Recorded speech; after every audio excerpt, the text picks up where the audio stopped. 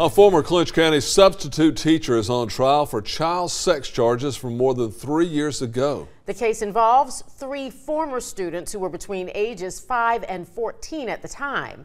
Now, the charges are against Kevin McLean, who worked at Clinch County Elementary Middle School. The charges include sexual battery, two counts of improper sexual contact by an employee, and one count of computer pornography. WALB News 10's Ashanti Isaac was in the courtroom for testimony today. Ashanti, parents have been waiting years for justice in this case.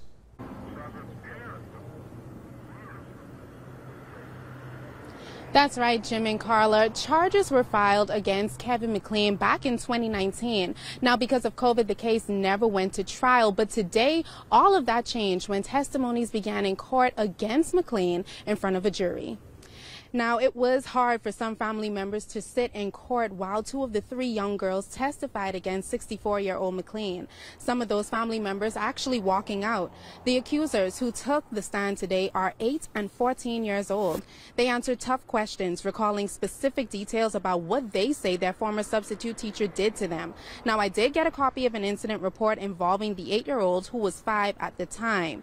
In December of 2019, she told investigators the incident took place in the girls' locker room in the gym of the school. She described the incident where a white male substitute teacher had touched her privates while she was reaching for a basketball in the ballroom at school. Two weeks later, investigators downloaded images from McLean's electronic devices and reported finding questionable pictures of nude females. Some of the photographs of the females appeared to be under the age of 18.